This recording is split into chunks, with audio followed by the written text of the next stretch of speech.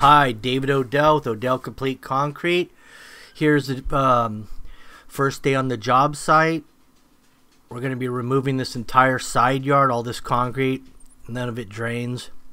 huge valley. It's even hard to walk on. It's a deep three inch trough down the middle. And you can see all the water deposits where the water stands for um, a long periods of time. So we're gonna we've already shown the demo and the pour of the backyard on this property.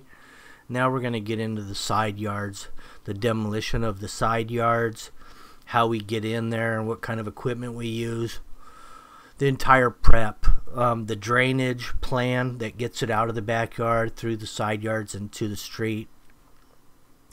We gotta cut through that front yard, of course, through the sod to get the drain in.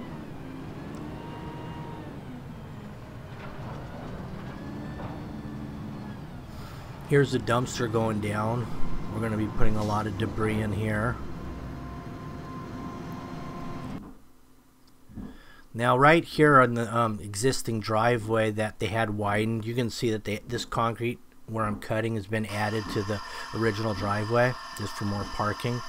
But we're cutting a section of that out which is going to become a planter area along the property line and it also acts as a place where I can run that new underground um, drain line.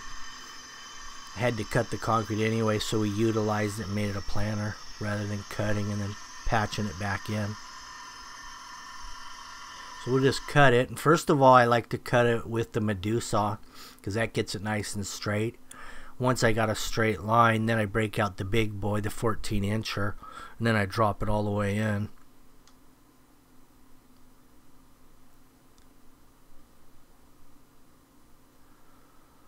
This concrete came out relatively easy with this particular piece of equipment, of course.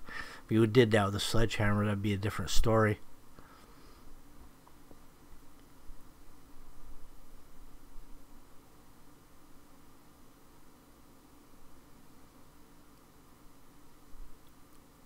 So this was a fixed gate, zero access. It was a dead end from the backyard, basically. So now that's going to have a gate on there, a vinyl, new vinyl gate homeowner is going to install that himself.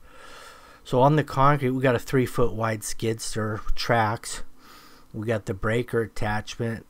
And when you get in these little tight areas like this, um, everything's hard about it. Working in a confined area, getting old concrete out because it's wedged and there's no expansion felt on either side of the wall. Whoever removed the concrete that was previously here before this pad was poured, and the reason I know there was concrete before is because on the block wall on all the hollow cells. They actually broke holes through the bottom of the block wall trying to remove the old concrete. And you'll see that too throughout this video where they actually uh, knocked holes through the uh, block wall trying to get the old concrete out. And they poured back concrete in, in uh, into the cells of the wall from the slab. So it made it even harder to get this out of here. The elevation was all wrong we're gonna fix all that. I started breaking right at this puddle to try to get some of this water out of here to start with.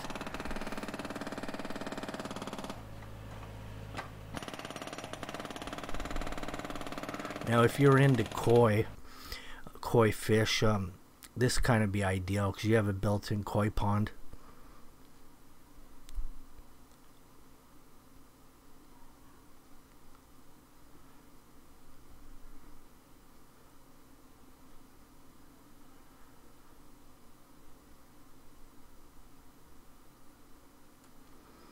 What the tractor does by um, breaking down through the middle actually uh, makes it a lot easier to you have a space to break the concrete in from the house and from the wall.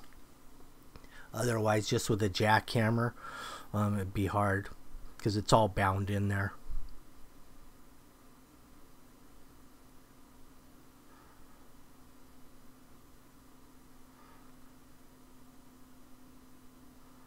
So from my experience, side yards um, narrow like this are probably the hardest to do out of all concrete work. Especially, you know, for your drainage, for accessibility and all those things when you factor all that in. Uh, per square foot, side yards are the hardest.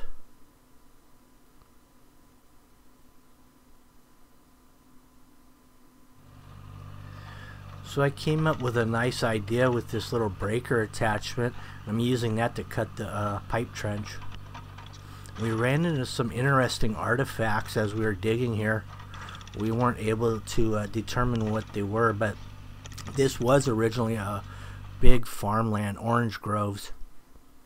And I think some of these metal things I took out here might have been heating pots, possibly to uh, prevent frost uh, um, on the oranges. They had they utilized those sometimes. And they just buried them, and we we found them.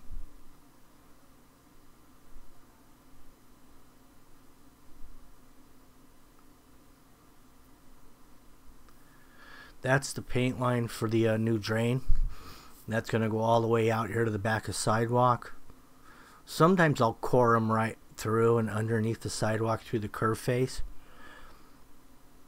But in this case, we had a lot of slope, so we were able to just daylight it at back of curb. We just did a little floating pop-up lid at the end. So when the water fills up in the pipe, the water will push the floating lid up and the water will exit and run out but the water you would assume holds water in the bottom pipe to uh, be able to push out.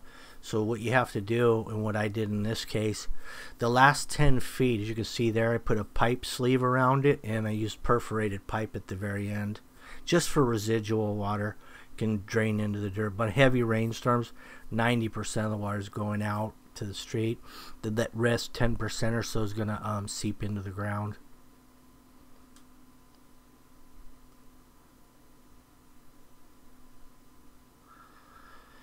Now, I didn't really like removing the concrete because it didn't have expansion felt here, so I'm putting it in this time just in case someone has to remove it again. And they won't have to punch holes through the wall getting it out. Also, it does a few other things besides just that. It, it gives it space for the sidewalk to shift around without cracking.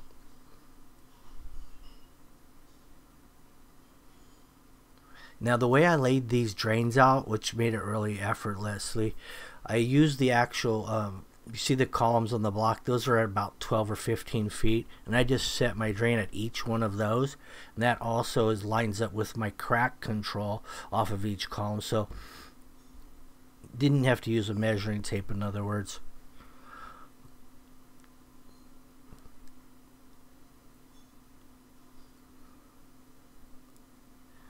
So this foam wraps the entire house all the way around through the back patio, all the way to the side yard. We got 3 eighths rebar, uh, 2 foot centers. And you've probably seen this in the, um, the previous video. This is actually part 3 of this particular project. Anyway, thank you for watching. Make sure you like, subscribe, and share. If you um, if you really want to see the next one, you can always um, hit the notifications so you'll get notified when we upload the next one. Also, check out my Instagram page, Odell Concrete. We got Facebook, Odell Concrete, TikTok, Odell Concrete. You name the social platform, and it's Odell Concrete. It's real simple. Anyway, have a good one. Talk to you later.